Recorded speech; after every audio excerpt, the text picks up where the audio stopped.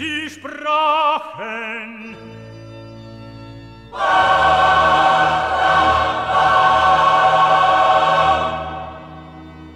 Pilatus sprach zu ihnen, was soll ich denn machen mit Jesu, von dem gesagt wird, er sei Christus.